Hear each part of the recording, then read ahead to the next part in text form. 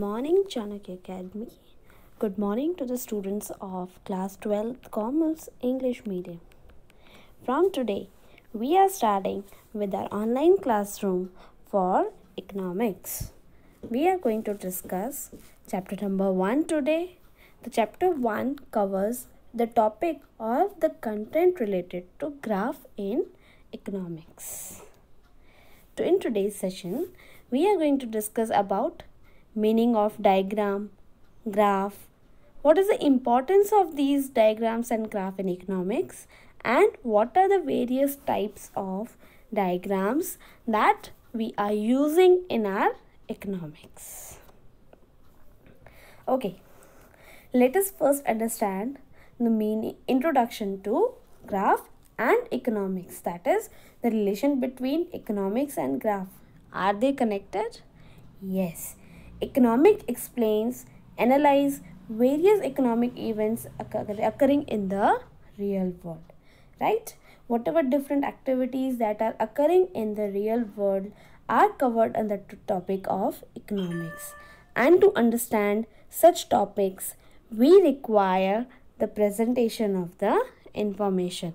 And this is done with the help of graph or diagram Economic explains and analyze economic events like demand, supply, change in price, change in population, etc. and so on. These results or this data are collected, analyzed and the result reaches to every common person through the picture that depict the information and that is done with the help of graph and diagram. So by now you have understood that when we are studying economics, it is having an important place. Also, the graph and diagrams are having important place in economics, right? Now let us understand the meaning of diagram. Diagram is nothing but the representation of observable data with the use of picture or by the way of picture. In presenting the data with the help of diagram, we are using different scales and measurement. But yes, keep one thing in mind that knowledge of statistics is not required. That means any common person or a layman with the help of simple diagram or graph can make everyone understand the data that he or she is knowing. That means to present the data using such diagrams, no statistical formula or content information is required. But when we are presenting the same information with the help of graph, that means representing is requiring the use of statistical tools and most probably or every time it is drawn on the sheet of graph paper. So by now you are clear the, with the difference between diagram as well as graph. Diagram is the one that is a way of presenting the information which does not require statistical knowledge whereas graph is again an another way of representing the information but it requires statistical tools such as graph. Now let us have a look at the importance of these diagrams and graph in economics. Now my question is to you. If I write a big 20 paragraph, 20 line paragraph giving all the information about our school, say for example the school is having classes 1 to 12 english medium and gujarati medium number of boys and girls in each medium number of teachers in each medium. You have what you would feel? You have to read each and every line then you have to underline the figures right? And then you can conclude about the information of the school. That is number of boys and girls in the school number of teachers in the school etc but on the other hand if i simply draw one graph right one bar diagram in which mentions two different mediums boys and girls in each medium how does it make sense? Yes it becomes easy to understand. That means when we are using diagrams and graph in economics, all the complicated, confusion and big paragraphs becomes easy to understand. Along with this, even the changing trends can be observed in one single graph or diagram. Say for example, we are checking out the change in temperature in Delhi city for the last 10 years. What would be the better way?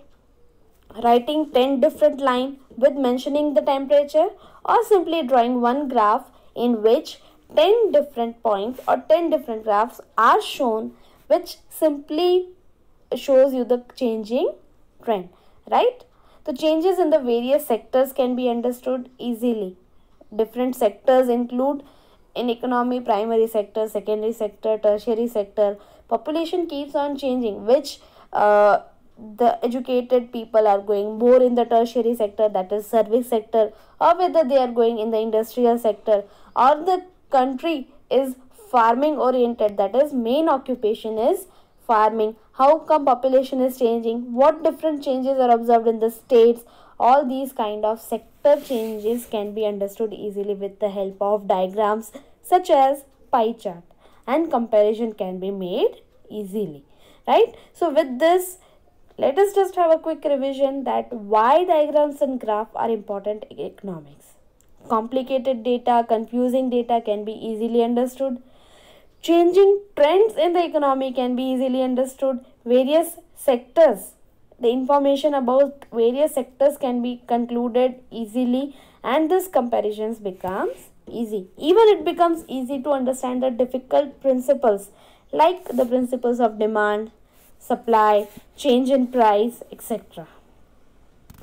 Next, we are going to see about the different aspects to be considered while drawing the diagram or graph. That is, Whenever we are presenting any information with the help of any diagram or graph, then what things you need to keep in mind? आपको किन किन चीज़ों का ध्यान रखना चाहिए सबसे पहले है choice of type of diagram that is what type of diagram you are selecting to present your data the right type of diagram or graph must be chosen to make a picture more effective Certain data can be presented in bar diagram while some requires pie chart.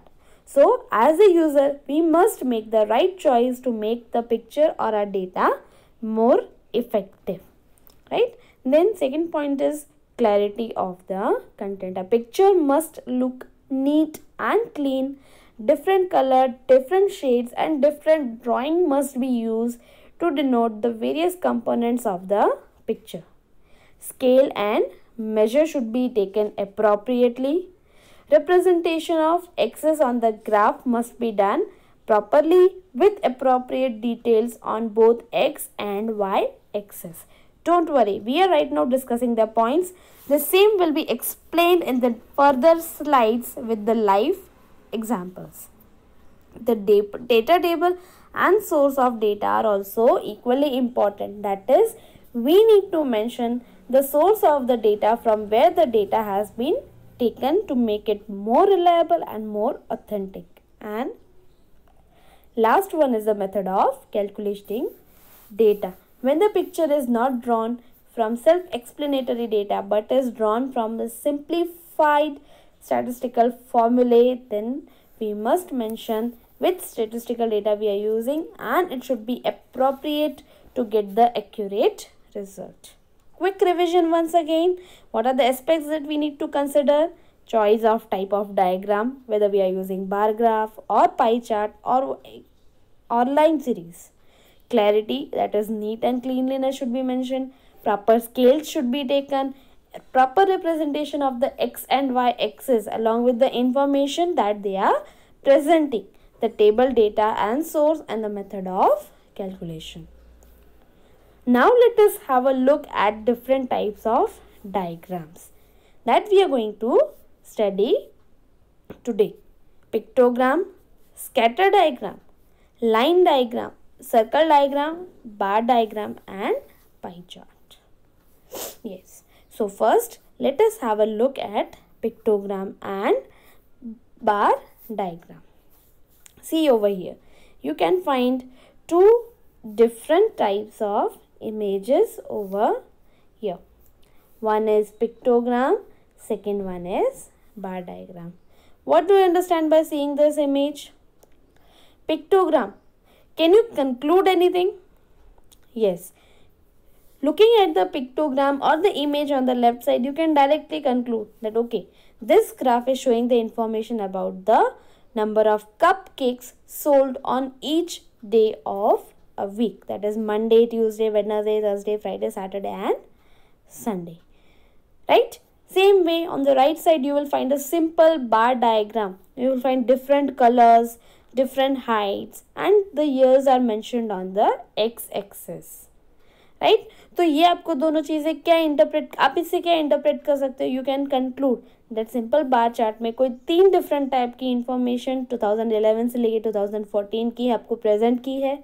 All green colour are having same information all orange colour are depicting same information right so by looking at the chart you can conclude that the smallest value was in the year 2013 for the all colors be it orange green or blue right तो यही चीज अगर paragraph में mention की होती if we could have mention the same in paragraph it would have become bit lengthy time consuming as well as boredom but looking into the same image or the graph makes it more attractive if you look at the pictogram right each and every single unit is depicting some n number of units like one single cupcake is equal to single is equal to 6 units of cupcake that means अगर इतनी information दी है तो by looking at this pictogram we can conclude that on Monday five cupcakes into 6 units that is 30 units were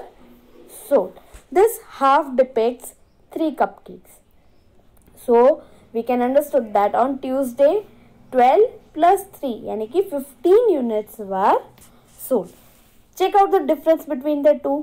When we are presenting the data on graph, it requires x and y axis whereas when we are presenting the same information on pictogram, no such graphs are required.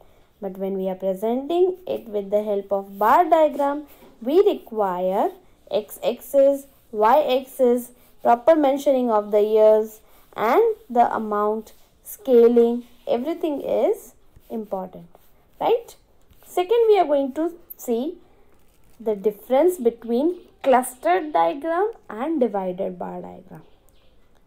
When we are talking about bar diagrams there are two different other types that is clustered bar diagram divided bar diagram clustered bar diagram is the one that is presenting the multiple information about two or three different uh, variables on the same graph like this particular graph is showing you about the origin of different vehicles in the different continents Asia, Europe and USA.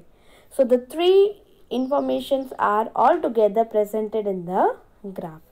On the other hand, if you look at the subdivided bar diagram, you will come to know that one single graph or one single bar is having the information all all the three different fields. Like for one particular year say 1968 to 69 it is showing the number of students in all the different fields that is science arts and commerce. So when we are having classified data for different years we can use this subdivided bar diagram right Moving ahead, next topic is the difference between scatter diagram and line diagram. Can you find the difference? Yes, correct. The difference is when we are using scatter diagram, the information are presented with the help of small dots on the graph paper. And when we are joining this dots, it becomes your line diagram. Keep one thing in mind that the same line diagram is nothing but the time based line diagram or the time series curve in which x-axis represents the time which can be in the form of month or year or days. Last one is your circle diagram and pie chart. Circle there is a difference between the circle diagram and pie chart. when we are talking about pie chart it mentions the information converted into the degrees right and when we are talking about circle diagram that means the information or the comparison is shown with the help of size of different circles right check out over here the circle diagram two different progress chart uh, circles are drawn for 42% as well as 14% whereas when we are information when we are presenting the information with the help of pie chart that means different sectors or different classified information are provided with different colors. Let us have a quick look at the different types of diagrams that we have learned. Pictogram, scatter diagram, line diagram, circle diagram, bar diagram and pie chart. As we have discussed prior about the aspects that we need to consider while drawing the diagram or the graph. What were they? First one is choice of type of diagram. Like when we are presenting simple sales of ice cream, we went with pictogram. On the other hand, if we have to show the same sales of ice cream in three different cities, then we could have selected the simple bar chart or multiple bar chart. Clarity, yes, you can find the neatness. Third point was scale of measures that is appropriate units must be mentioned to present the data. Third, fourth one is representation of axis that is x and y axis which is already mentioned as per the requirement when we are drawing graph.